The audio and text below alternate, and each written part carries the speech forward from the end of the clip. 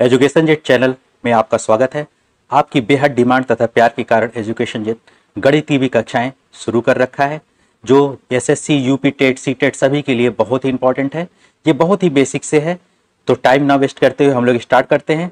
Channel को like और subscribe ज़रूर करें। तो आज हम लोग का है संख्याओं का गुड़ा करना। तो हम संख्या को कैसे गुड़ा करते हैं, यानी मल्टीप्लीकेशन तो अगर दो गुड़े तीन है तो हम क्या करेंगे? दो को ऊपर, नीचे तीन को लिख लिए। और तीन का हम क्या करते हैं? पहाड़ा पढ़ते हैं। टेबल तीन दुना छ ये हो गया हमारा छ अब हमको क्या करना है? इसको गुणा करना है। ये क्या है? तीन अंक है इसमें, तीनों का तो सबसे पहले क्या करते हैं? एक का चार में होगा। तो एक चार, एक चराय में चार होता है। और फिर एक कन्ने एक होता है। एक बार पढ़ेंगे। और वन, फिर एक का दो में। तो दो और एक क्या होता है? मल्टीप्लाई होके दो ही होगा। फिर हम दो का इसी तरीके से इसमें क्या होता है, इकाई, दहाई, सैकड़ा तीनों में हम गुणा कर करके लिखते हैं, लेकिन इसके बाद क्या है? एक स्थान हम छोड़ देते हैं। ये क्या किया? एक से हमने किया तो इकाई वाला स्थान हमने छोड़ दिया। अब हम दहाई वाले स्थान से लिखना शुरू करते हैं। दो चौक आठ। ठीक है? फिर उसके बाद दो एक अन्य दो और दो दूना चार। इस तरीके से किया हमने। अब हमने क्या किया? दहाई के बाद हमको क्या करना है? सैकड़ा वाला स्थान लेना है तो फिर इसको भी हमने क्रॉस कर दिया। अब तीन चौक बारह यहाँ हो जाएगा। तो ये दोनों क्या हो जाएँगे? दोनों क्रॉस हो गए। तो फिर तीन चौक बारह, और उसके बाद तीन एक तीन, और एक जो हासिल था वो तीन एक हो गया। और उसके बाद तीन दूना छ। ये इस तरीके से हो गया। यहाँ पे आ जाएगा चार, और आठ एक नौ हो जाएगा। और उसके बाद क्या होगा? दो दो चार, दो छ हो गया। उसके बाद क्या होगा? चार चार, आठ, और ये इस तरीके से जो है इसका आंसर आ जाएगा। ठीक है? अब नेक्स्ट देखते हैं। 425 का अगर हम ज़ीरो में गुणा करेंगे तो क्या होगा? ज़ीरो ही हो जाएगा। अब चिन्ह नियम हम देखते हैं। साइन का जो है रूल क्या होता है? अगर धन संख्या है और दूसरी संख्या भी धन है और उसको हम गुणा कर रहे हैं तो हमको धन ही मिलेगा। इसी तरीके से अगर एक धन है एक, क्या है? ऋणात्मक है तो उसका गुणनफल ऋणात्मक मिलेगा। इसी तरीके से अगर एक क्या है? दोनों ऋणात्मक का गुणा कर रहे हैं तो धनात्मक मिलेगा। ठीक है? तो इस तरीके से जो है, ये होगा। अब हम लोग देखते हैं जैसे, दो क्या है? दो भी धनात्मक है, तीन भी धनात्मक है तो दो तिया क्या हो जाएगा? छ हो गया। ठीक है? उसके बाद एक धनात्मक, एक ऋणात्मक है तो हमने बताया था एक धनात्मक, एक ऋणात्मक पे क्या हो जाता है? दो, चौक, आठ पहले लिख लिया और क्या होता है? ऋणात्मक हो जाता है। उसके बाद अगर दोनों ऋणात्मक है तो धनात्मक, यानी अगर दोनों क्या है? धन धन है तो भी धन आएगा, दोनों ऋण ऋण है तो भी धन आएगा। तो तीन दुना छ ये क्या हो जाएगा? धनात्मक हो जाएगा। अब कुछ इंपॉर्टेंट चीज़ें देख लेते हैं। यदि ऋणात्मक चिन्ह सम बार आया है मतलब अगर ऋणात्मक चिन्ह दो बार आया है या चार, सम मतलब क्या होता है? दो, चार, आठ छ इस तरीके से अगर आया हुआ ऋणात्मक चिन्ह, यानी दो बार, चार बार, छह बार इस तरह आया हो तो उसका परिणाम जो मिलता है चिन्ह वो क्या मिलेगा? धनात्मक ही मिलेगा। और अन्यथा क्या होगा? ऋणात्मक मिलेगा। अब हम इसकी बात कर लेते हैं। अब इसकी बात अगर हम करें तो क्या हो जाएगा? पहले इसको हम गुड़ा कर लेते हैं। तो दो तिया छ तो हमने बताया था क्या हो? धन और माइनस का होता है। माइनस छ हो जाएगा। इसके बाद इसको हम करते हैं। चार दूना आठ, माइनस आठ हो गया। फिर ये माइनस तीन अगर यहाँ आ गया। इसको फिर हम गुड़ा करें तो आठ छ अड़तालीस। क्या होता है? माइनस माइनस का गुड़ा प्लस हो जाता है अड़तालीस और ये गुड़े माइनस तीन हो जाएगा। ठीक है? तो क्या हो जाएगा? तीन अठे चौबीस, तीन चौक बारह और चौदह। माइनस एक सौ चौवालीस। तो इसमें आप देखो कि ऋण कितनी बार आया है? एक, दो, तीन बार आया है। यानी ऋणात्मक कितनी बार? तीन बार आया है। तो तीन बार आया यानी अगर ये सम बार आएगा तो क्या होगा? ये धनात्मक इसका आंसर आता। लेकिन ये क्या है? ऋण जो है, क्या है? विषम बार आया है, तीन बार आया है। इसलिए इसका देखो आप, जो परिणाम आया है वो ऋणात्मक आया। अब इसकी हम बात कर लेते हैं।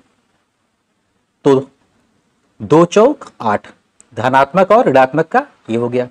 इसी तरीके से इसको दोनों ऋणात्मक है तो धनात्मक आ जाएगा, तीन दूना छ ये आ गया हमारा माइनस ठीक है? अब ये देखो। आठ छक अड़तालीस, माइनस का आ गया। गुड़े, माइनस पाँच, ये आ जाएगा। अब देखो, दोनों माइनस है तो क्या आ गया? धनात्मक आ जाएगा। और पाँच का टेबल पढ़ेंगे, पनौठे, चालीस, चार कैरी हो जाएगा, और पाँच चौक बीस, चौबीस, दो सौ चालीस आ गया। तो यहाँ पे आप देखो कि कितने बार आया है ऋणात्मक? एक, दो, तीन, चार बार आया है। यानी सम बार आया है। हमने बताया था कि अगर ऋणात्मक सम बार आता है तो उसका परिणाम हमेशा धनात्मक आता है। और अगर ऋणात्मक क्या होता है? विषम भार आता है तो उसका परिणाम हमेशा क्या होता है? ऋणात्मक आता है। ठीक है? तो इस तरीके से ये हो गया अब हम लोग देखते हैं संख्याओं का भाग कैसे करते हैं।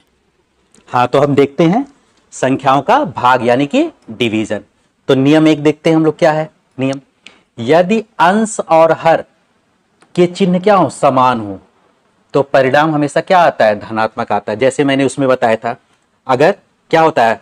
गुणा करने में भी अगर क्या होता है? दोनों क्या हो? सेम साइन में हो। दोनों धनात्मक हो संख्याएँ तो उनका गुणा करने पे भी धनात्मक मिलेगा। दोनों ऋणात्मक हो तो भी उनका गुणा करने पे धनात्मक ही मिलेगा। उसी तरीके से अगर क्या है, डिवीज़न में अंश और हर दोनों अगर क्या है, धनात्मक हैं तो भी उसका परिणाम धनात्मक मिलेगा। और दोनों अगर चिन्ह क्या हो, ऋणात्मक हो तो भी उसका परिणाम धनात्मक ही मिलेगा। और अगर दोनों क्या हो अलग अलग हो तो ऋणात्मक मिलेगा। अब देखें आप, ऊपर भी अगर क्या है, अंश भी धनात्मक है और हर भी धनात्मक है तो धनात्मक मिलेगा जो आएगा परिणाम। अगर अंश ऋणात्मक है, हर भी ऋणात्मक है तो भी धनात्मक आएगा। और अगर अंश धनात्मक है और हर ऋणात्मक है तो ऋणात्मक आएगा। बताया था ना यहाँ पे, अलग है तो ऋणात्मक होगा। ये भी क्या है? ऋणात्मक और धनात्मक है तो ऋणात्मक होगा। अब इसकी बात कर लेते हैं, दोनों क्या है? इसका एग्ज़ाम्पल है, धनात्मक है तो दो तिया छ तीन आ जाएगा धनात्मक। इसी तरह ये क्या है? दोनों ऋणात्मक है, कट गया। टू फोर जा, दो चौक आठ हो जाएगा। एक धनात्मक है, एक ऋणात्मक है। तो ये क्या हो जाएगा? पहली बात तो ये है कि कभी भी हर में जो है, ऋणात्मक वैल्यू नहीं लिखते हैं, ये हमेशा ऊपर आ जाता है। ये हो जाएगा माइनस चार बटे दो। उसके बाद इसको काटेंगे चार, कट जाएगा। दो दूना चार, माइनस दो आया। तो ये इस तरीके से हो गया। अब ऊपर अगर है तो भी ये क्या हो जाएगा? पाँच, माइनस पाँच जाएगा। तो इस तरीके से ये होता है। तो हम ऐसे भी लिख सकते हैं, अगर माइनस एक्स बटे वाई है, बराबर अगर है तो इसको हम एक्स बटे माइनस वाई भी हो जाएगा और बराबर माइनस एक्स बटे वाई इस तरीके से भी हो जाएगा। अब ये क्या है? माइनस छः बटे तीन है तो ये क्या आ जाएगा? माइनस दो आ जाएगा। और माइनस तीन है बटे दो तो ये भी क्या होगा? माइनस दो ही आएगा। और तीन बटे छः ये भी माइनस दो ही आएगा। तो इसका परिणाम जो है माइनस दो ही आ रहा है। अब हम लोग कुछ देख लेते हैं। भाग में जैसे कुछ टर्म होते हैं। तो अगर हमको नौ को भाग देना है दो से तो दो को हमने यहाँ लिखा, दो हमारा जो होता है उसको हम बोलते हैं भाजक या डिवाइजर। जिससे भाग देते हैं उसको भाजक बोलते हैं। जिसमें भाग देते हैं, ये नौ क्या है? इसमें हमको दो से भाग देना है इसको भाज्य या डिविडेंट बोलते हैं। ठीक है? तो हम, इसका हम क्या करेंगे? इसका पहाड़ा देखेंगे। दो चौक आठ, यहाँ एक बचा। तो एक जो बचता है उसको शेषफल बोलते हैं या रिमाइंडर बोलते हैं। और जितने बार जाता है, दो चौक चार बार गया तो इसको बोलते हैं भागफल या क्वेश्चन बोलते हैं। तो इनके बीच में जो संबंध होता है, भाज्य बराबर, बीच वाला जो होता है, भाज्य बराबर, भाजक, गुड़े, भागफल, धन, शेष। तो इसमें अगर नौ को हम लिखें, नौ बराबर, भाजक क्या है? दो गुड़े चार, भागफल चार है, धन एक। तो चार दूना आठ, धन एक, कितना हो जाएगा? नौ हो जाएगा। यानी हमारा ये इस तरीके से होता है। ठीक है? Thanks for watching this video channel को लाइक और सब्सक्राइब करें, ताकि मैं इसी तरीके आपके आपके लिए वीडियो लेकर